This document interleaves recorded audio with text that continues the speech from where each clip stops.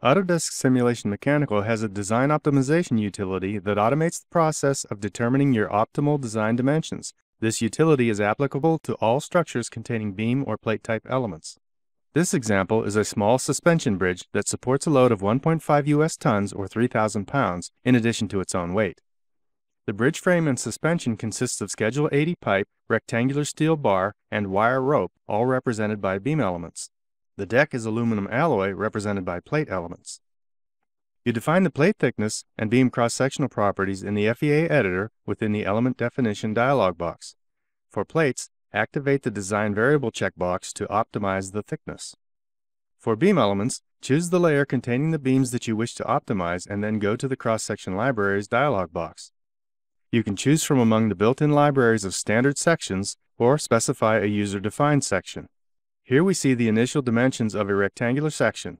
To optimize a dimension, right-click on it and set it as a design variable. Run an analysis to determine the results based on the initial plate and beam dimensions.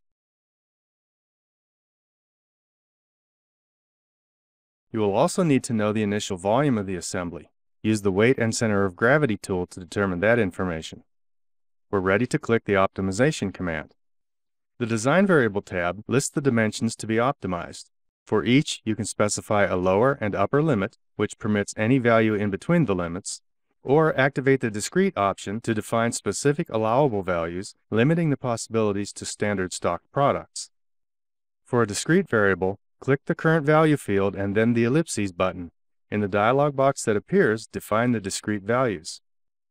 In the Performance tab, specify the objective, in this case to minimize the assembly volume and therefore its weight. Also, specify the design constraints, such as upper stress and displacement limits. Specify the part or parts to which each constraint applies and the current value for each objective and constraint based on the initial values analyzed.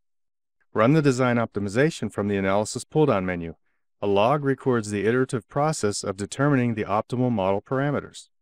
The current values and the changes in the results are listed along with indications of whether or not each constraint has been violated. You can view various graphs, such as the optimization history plot shown here. This graph shows the maximum stress in the deck plate for each iteration. You can also run design studies and view plots indicating design sensitivity, that is, the relative extent to which each design variable affects the objective or various constraints. For example, here we see that the plate thickness, variable 3, has the greatest impact on the maximum displacement result. Finally, a new FEA model is automatically created in which the dimensions are set to the optimized design parameters. Review this model to confirm that all results are within the allowable ranges.